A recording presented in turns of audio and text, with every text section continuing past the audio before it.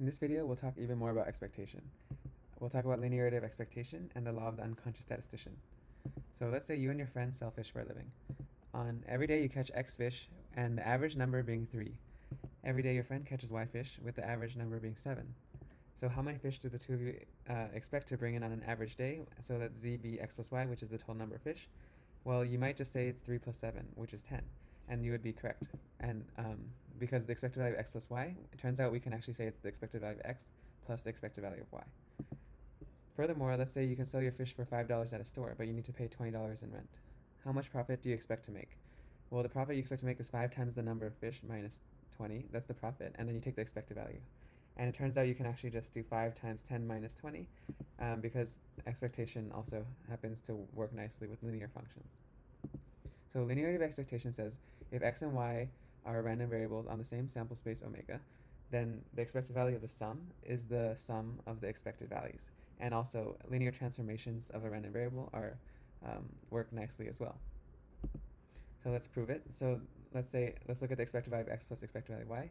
By definition, remember it was the sum of the outcomes in omega of x applied to that outcome times the probability of the outcome. This is one of the two definitions of expectation. And then um, what you can do is you can group the x and, and y of omega together. And then this actually just is defined to be x plus y of omega. And this is kind of like f plus g of x, and this is f of x plus g of x. And that's just the definition of uh, the addition of functions. And this, by definition, is the expected value of x plus y, as it's x plus y, the function applied to omega, times the probability of omega. So now let's apply linearity. So a frog starts on a 1D number line at 0. At each time step, it moves left with probability PL, right with probability PR, and stays with probability PS, where they add up to 1. Let x be the position of the frog after two time steps. What is the expected value of x? So by brute force, the range of x is negative 2 to 2. So that's the possible places the frog can end up.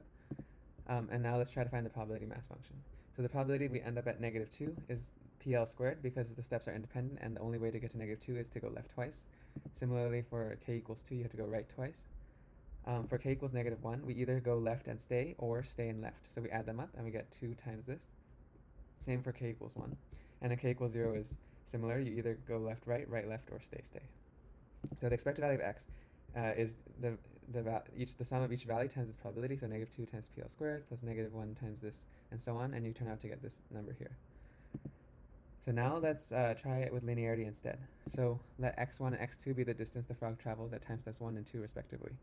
Um, an important observation to see is that x is actually the sum of x1 plus x2 because your location after two time steps is the sum of the displacement on the first plus the second time step. And so the uh, range of these displacements is negative 1, 0, 1, and the probabilities are just PL, PS, and PR. And so the expected value of one time step displacement is just negative 1 times PL plus 0 PS plus PR, and you just get PR minus PL, which kind of makes sense.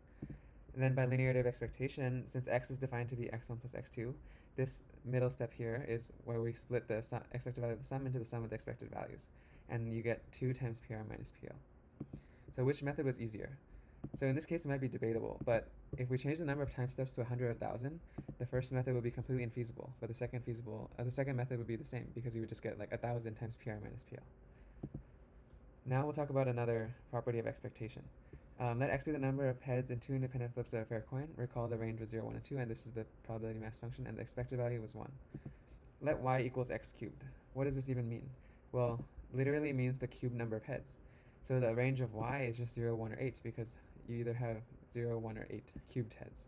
And the probability mass function of y is zero, uh, 1 fourth on 0, 1 half on 1, and 1 fourth on 8. And because you can only have uh, 8 with probability 1 fourth when it's heads heads. And then the expected value you can compute normally and you get 2.5.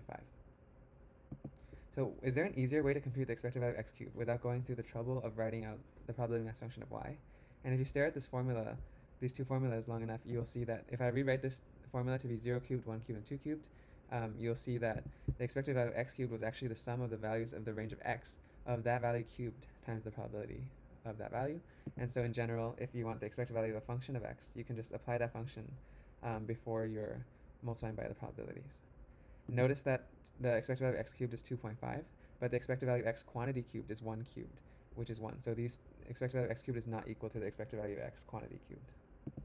And that's the law of the unconscious statistician.